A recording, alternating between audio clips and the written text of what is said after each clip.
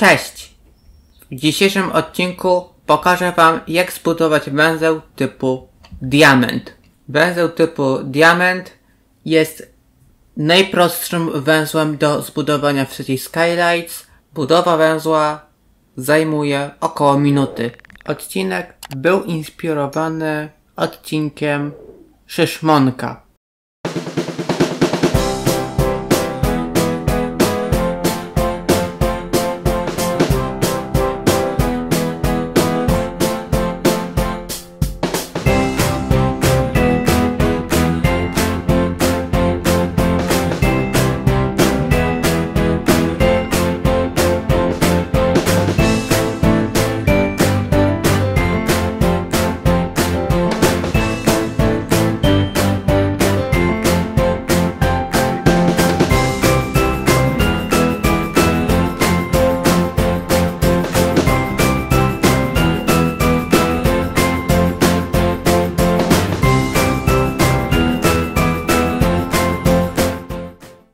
Prezentuje się gotowy węzeł.